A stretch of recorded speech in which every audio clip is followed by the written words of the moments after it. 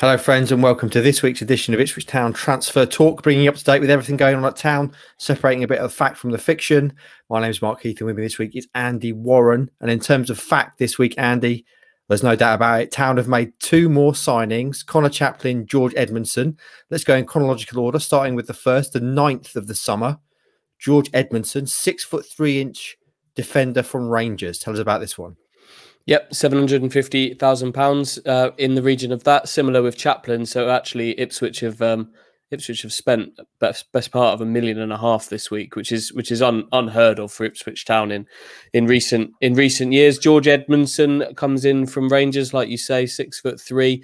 He's right footed, but he I think he prefers playing on the left the left side of that of that back four. He's been described as a as an old school defender in the past, but I, I think he's more than that. He's he's he's comfortable on the ball and he can play. He mm. can play as well. Um, high on potential, a bit light on football in recent years. Hasn't played too much during his his time up at, at Rangers, but when he did, there there'd been some some really good moments for him up there. I think the fans liked him, but at a club like Rangers, you're you're going to face a battle to get into a team as a 21 and a 22 year old as, as he was up there. I think he he scored a couple of goals for them. He's a threat in the box and, and had a, a fairly decent loan spell at Derby in the Championship uh, at the back end of last season as well, uh, despite mm. being dogged by a few injuries. So there's um there's a lot of reasons to be optimistic about this one. It's a deal Ipswich didn't necessarily think they would be able to do, given interest from the Championship, but they moved quickly at the right time and, and managed to hold off some kind of late hijack attempts to to get their man. And interestingly, and this is the case with a lot of the, uh, the players they've brought in over the summer, it's a long term deal. Most of them have been three years, but George is, is a four year deal, isn't it?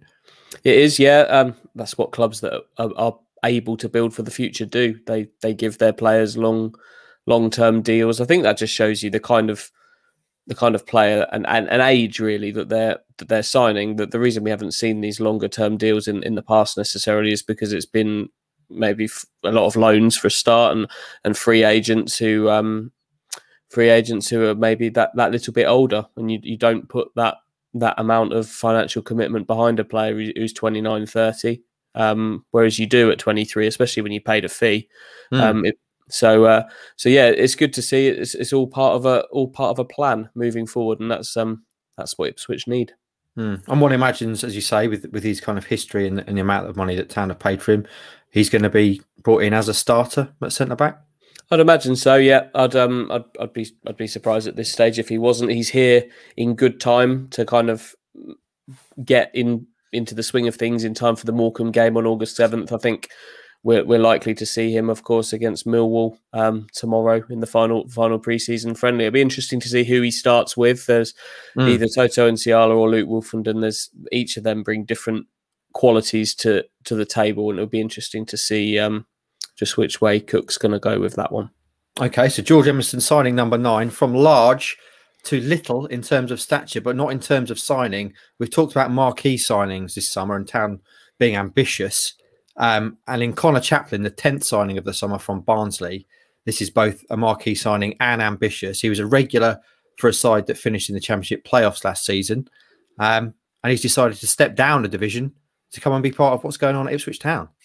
Yeah, that's exciting, isn't it? Uh, it doesn't happen very often. Um, like you say, he was a big part of Barnsley's team, which which made the playoffs, playing a quite unique style of football under Valérien Ismaël. There, high high energy, high high pressing, and and again they've managed to convince him to to join this. Um, and I hate this. I hate this expression, but to join this project um, that Ipswich have got ongoing, ongoing here, seven fifty ish again. Um, so a decent fee and a, and a good contract for mm. for a player who um, who Paul Cook knows well, having managed him at, at Portsmouth. Um, so it'd be I'll be interested to see where he plays as well because under Cook at Portsmouth, very much through the middle, a central mm. striker. I can't see him. It's going to be a struggle for him to play there here. Um, he could play maybe as the number ten, but more likely, I, I would say, would be him playing wide, which is where he he largely played for Barnsley for Barnsley last season. The, the thing that excites me most about this is uh, that with with more signings still to come, and one of those potentially likely to be a winger as well. They've signed Connor Chaplin from from the championship, and I can't sit here right now and tell you that he's going to be a, a nailed on starter in this team. Um, I think he probably will be, but um, it's not a given. options, and like has been the, the, case in a lot of the, the guys that, that Town have brought in this summer, as you say, he's versatile, he is diminutive, he's pacey. And, and Paul Cook, having worked with him before, said that he's the best finisher he's ever worked with, Andy. We'll see, won't we? Um, that's, that's, quite. That's quite. That's quite an accolade to, to yeah. give someone. So it's something to live up to. Um, hopefully, he can show it here. Yeah, no pressure. Um, there is a there is a chat with with Con actually on our website this morning where he talks about saying to, to outsiders it, it, may look a bit silly that he's dropping down, but talking about why he wanted to do that. Andy, you alluded there to further signings. That is always the question. We've got 10 in. People want more. People want more. Mark Ashton last night said there is going to be more. He said that frequently. Um, Hayden Coulson, the left back from Middlesbrough, is one that we've reported previously. Um, is there any update on that?